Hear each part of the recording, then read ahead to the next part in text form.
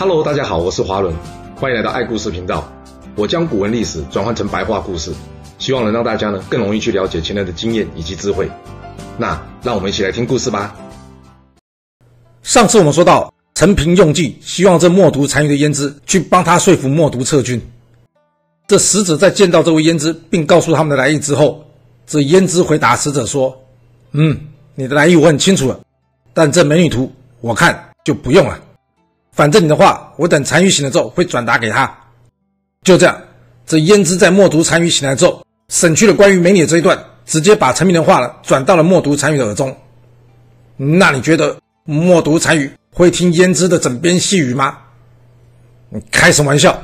像这种连老爸妻子都可以拿来当箭靶的人，要是没有足够厉害关系，你以为美人计会对他有用吗？嗯，听完胭脂的话之后，这默读先是沉思了一会，之后他想，也是。就算汉朝现在再弱，但也不是我现在一口就能吞得下来的。这趟南下目的，除了扩张我匈奴的领土之外，原本就只是要对汉朝立威。我的目标应该是要重创汉军，而不是要击杀汉皇。所以现在我围住他的目的究竟是什么呢？嗯，眼看默毒已经有点动摇了。这时胭脂再补一句说道：“单于，您看，我们都已经围住汉军这么多天了。”这天寒地冻又缺粮食的，呃，按理汉军应该已经乱起来了，但是他们却没有乱起来，这会不会是老天爷在帮他们呢？嗯，老天在帮忙这种话，默读单于会信？嗯，有可能啊，毕竟有些人就是比较迷信，尤其是在古代。不过我猜默读单于更相信的，应该是他自己的判断力。是汉军中计被围，理论上应该是士气大落。然而，从现在汉军的表现来看，完全不是这么一回事。难道说刘邦还有后手吗？加上这韩王信说要派王皇跟赵立过来跟我合兵，到现在他们的人却一直迟迟未到，这中间会不会有什么问题呀？我有必要犯这风险，一定要跟他们在这边拼个输赢吗？想通了这一点之后，默读单于下令，他要求这些包围汉军的士兵们故意打开一角，留出一条通道。嗯，做什么？因为这样就可以让汉军从山上清楚看到突围的路线。若汉军真的是穷途末路，势必会由此突围。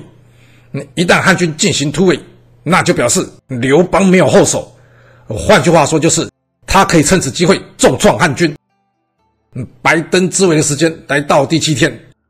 这天清晨，汉军可以非常明显的看到白登山下匈奴撤出了一角，形成了一条通道。刘邦及汉军们一看。嗯太好了，终于有机会可以杀出去了。然而，陈平却不这么乐观。毕竟，发动突围对汉军来说一定会造成重大损失。但为了救刘邦，这能怎么办呢？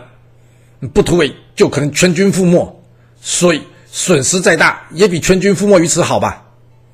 不过，就在这个时候，好运的刘邦，这老天爷又帮他开外挂了。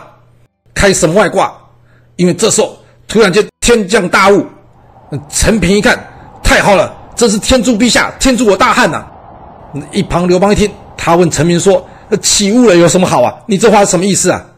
接着，陈平把他刚刚担忧以及接下来计划告诉刘邦。在听完陈平的计划之后，刘邦点点头，告诉他说：“好，陈平，朕就听你的。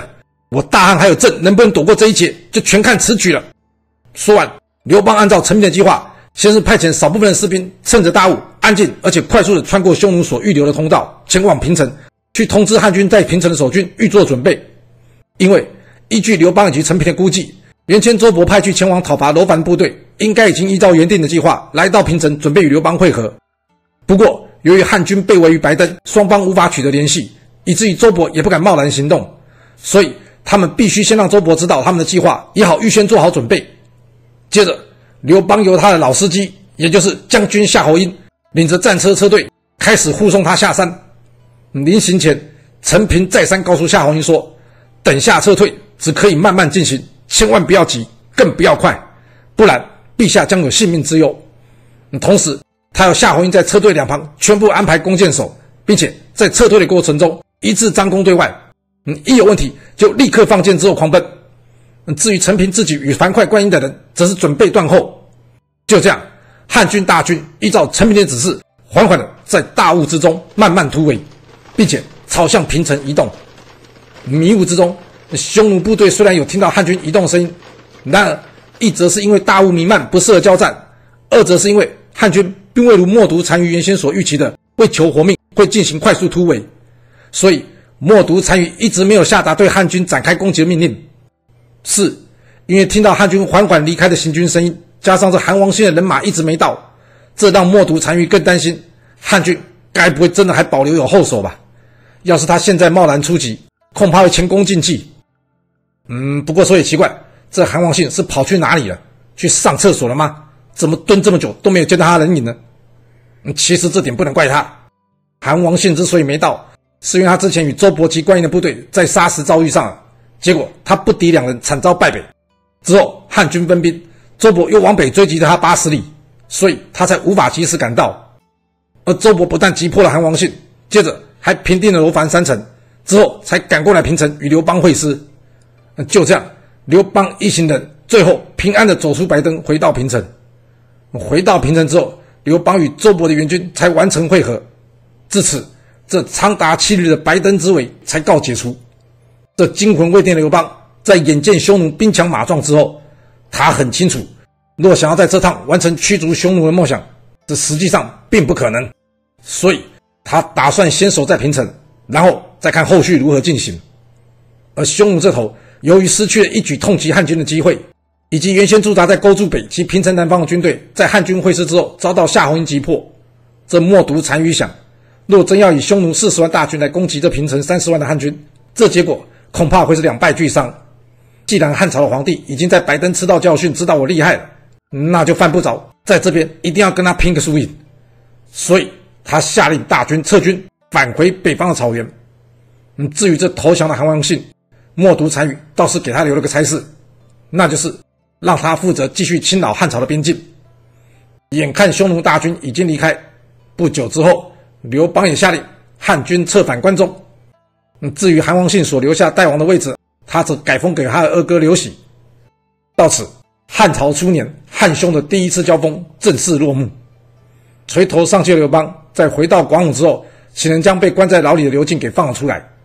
他跟刘进说：“刘进啊，朕当初不听你的话，结果险些自误。朕很欣赏你的见识。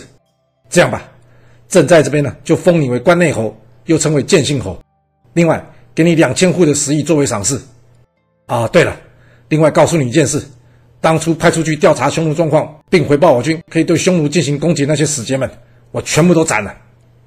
听到这，刘进除了叩谢刘邦的圣恩之外，并且再次向刘邦提出了谏言。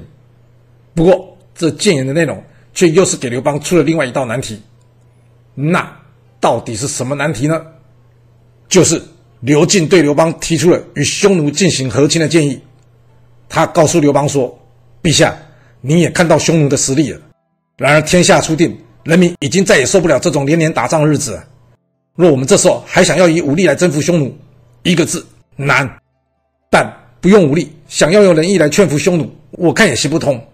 毕竟默毒这家伙，除了亲手杀了自己父亲外，他还将他父亲的妻妾，也就是他辈分上的母亲纳为自己的妻妾。你像这样的人，你想要跟他讲仁义，想要劝化他？”这可能会比直接杀他还要更难。刘邦一听，他点点头，跟刘进说：“你说的有理，那这问题有解决方法吗？”刘进回答刘邦说：“办法不是没有，目前唯一可行的方法就是拉长战线。我们不要将这期望呢放在这默毒身上，而是要放在他子孙的身上。我们可以利用潜移默化的方式，慢慢的规划他的子孙，最后让匈奴向我大汉称臣。嗯，但是，但是什么啊？”刘邦问。刘进回答刘邦说：“但是，若真的想要做到这点，就还必须要陛下您的配合。嗯，这点只怕陛下您办不到。”刘邦一听，只要为我大汉江山好，有什么是我办不到的？你先说来听听看吧。刘进接着说：“想要做到这点，那就必须陛下您将您的女儿送到匈奴去和亲，也就是嫁给默读单于的意思。”嗯，听到这，刘邦睁大了双眼，大声问道。你说送我女儿去和亲？刘敬回答他说：“正是，陛下。要是您能让长公主，也就是鲁元公主下嫁匈奴，并且奉上大礼，这默毒单于一定会让长公主做他的胭脂。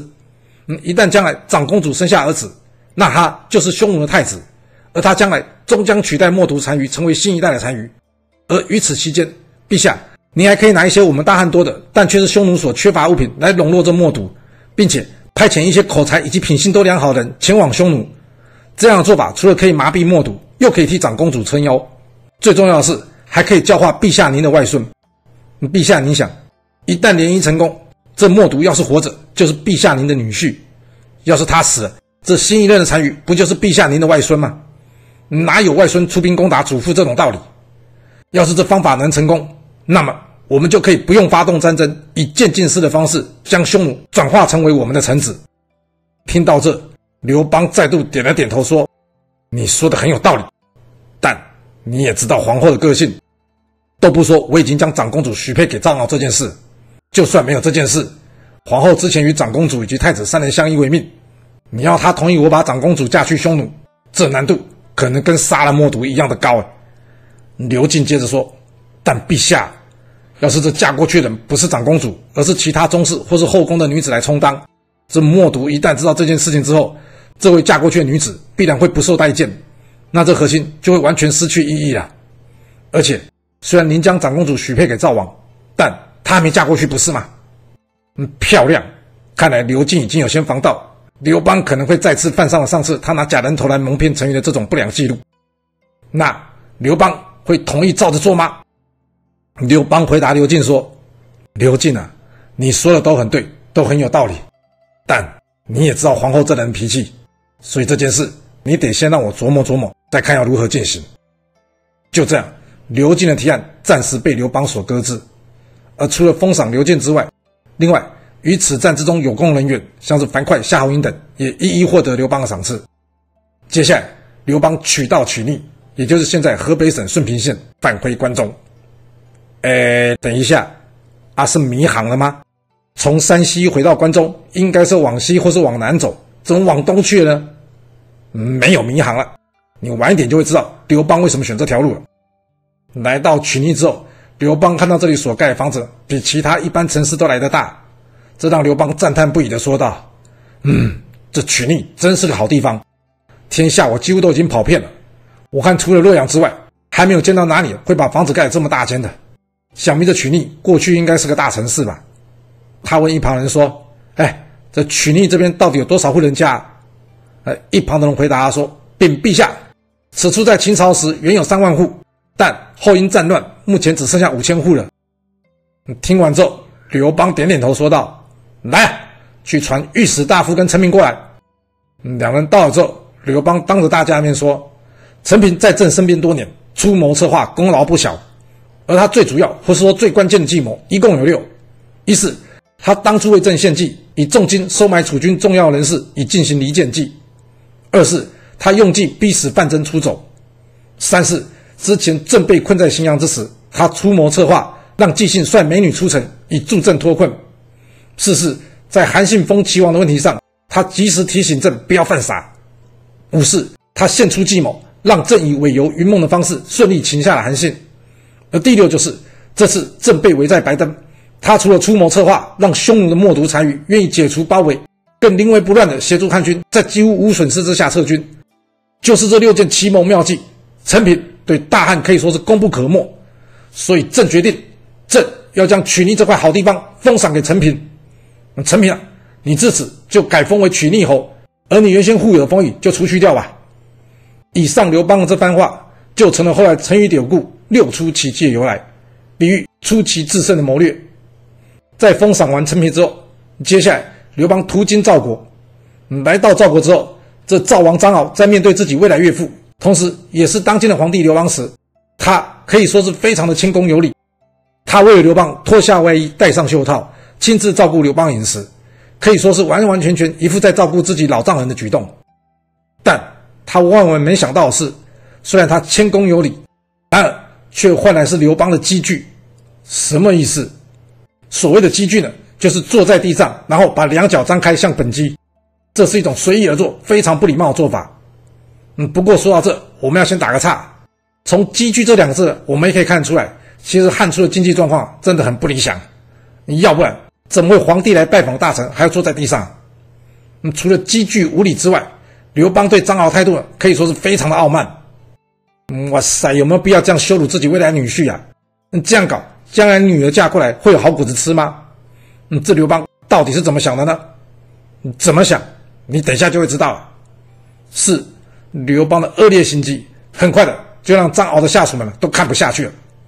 当中有一位名叫灌高以及名叫赵武的人呢，他们两人原先是张敖的老爸，也就是张耳的门客。在张耳死了之后，他们两个就留下来继续服务张敖。虽然两人都一把年纪了，但是他们两个仍旧改不了过去豪爽的性情以及冲动的个性。所以在见到刘邦无礼的举止之后啊，他们两人跑来跟张敖说：“大王，这天下是有能力者居之。”刘季这家伙无理至极，欺人太甚。要是你没意见，我们俩打算在这动手送他上路。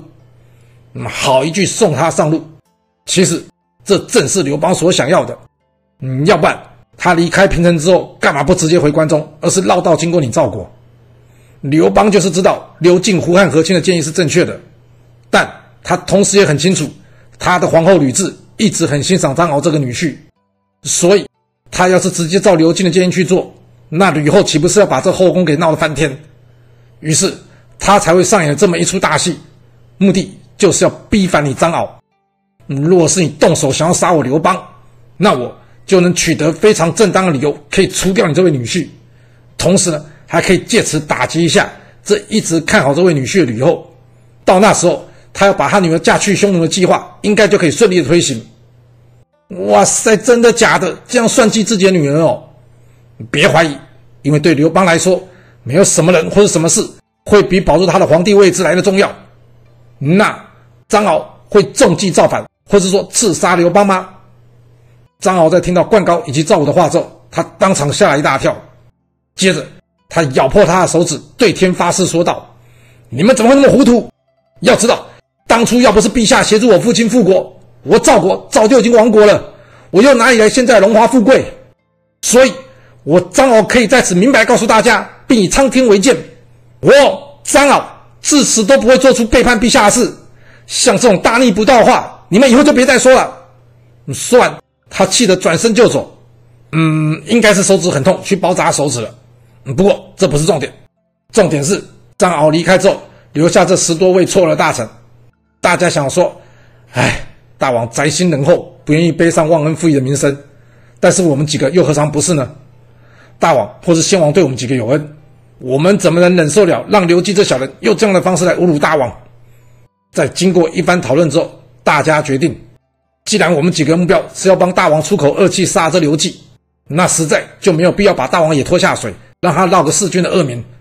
这样吧，我们就自己计划计划，将来要是事成，好处归给大王；若失败，也都是我们几人自己的决定，与大王无关。不过眼下还不能下手，毕竟大王已经有了警觉，他一定会特别注意对陛下安全的保护。嗯，这件事我们得先缓一缓。嗯，这结局大概远远超出刘邦的想象了。嗯，搞什么这样激都没有办法激怒张敖造反哦。所以无奈的他也只好先选择打道回关中，之后呢再想想办法，看要怎么解决这问题。嗯，从这一点来看哦，当初燕王张图跟利己会不会也是被刘邦这样搞搞得造反呢？不过历史没有这么说，那我们也不能这样讲。隔年，韩王信又开始率兵侵扰边境，但出人意料的是，这刘邦的二哥代王刘喜不但没有尽力守城，他竟然还是第一个带头跑的人，这让听到消息的刘邦差点没有气到吐血。呃，有没有搞错？我二哥给我搞临阵脱逃？我啊，那要处决他吗？嗯，还不至于啦。毕竟终归是自己一家人，加上之前刘喜在保护老太公以及他老婆还有女儿时，还算尽力，也算有点功劳。所以即使非常非常生气，刘邦最后还是决定只将刘喜给降为河阳侯。那至于韩王信来犯的问题，刘邦则是选择亲自领军要来去修理这叛徒。不过令人意外的是，此仗刘邦除了痛斥他的大舅子吕泽之外，他。并没有能与韩王信正面交锋的机会，因为在他到了东原之后，前方已经传来韩王信撤军的消息，这让刘邦的心情实在又够差的。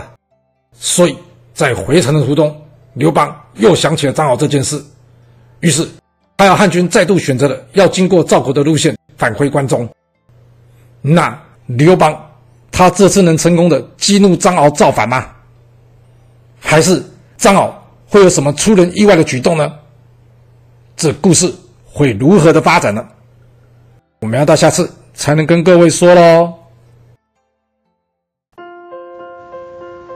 好啦，我们今天就先说到这。若喜欢我的故事，要麻烦您记得动动你的手指，给我五星评价，或是点赞、订阅、追踪以及分享哦。当然，也欢迎您留言分享你对这一集的想法，或是你也可以请我喝一杯咖啡或是饮料，让我有持续创作的动力。